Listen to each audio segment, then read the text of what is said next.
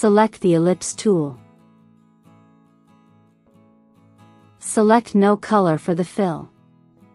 It doesn't matter what color the stroke is.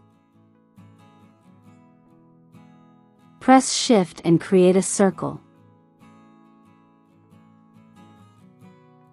Increase the stroke weight until the entire circle is filled.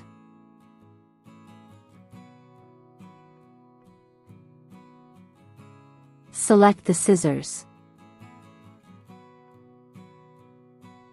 Click on the anchor point on the right and the bottom.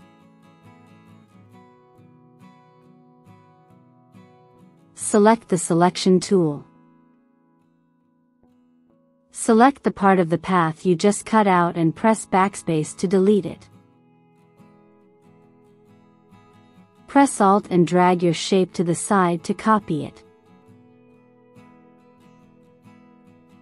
Press Shift and rotate the shape 180 degrees. Connect the shape with the other shape.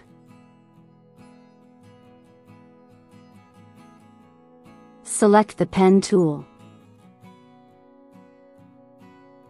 Connect the anchor points of the two shapes.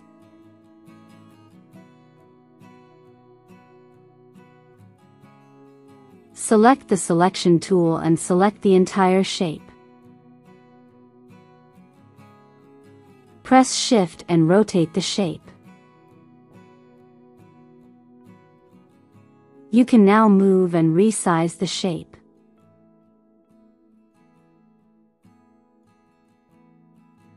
Select Gradient. Select the stroke. And Radial Gradient. Select Apply Gradient along stroke.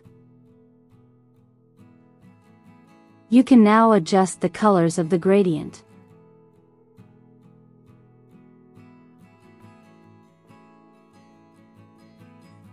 And that's how you create this gradient infinity sign.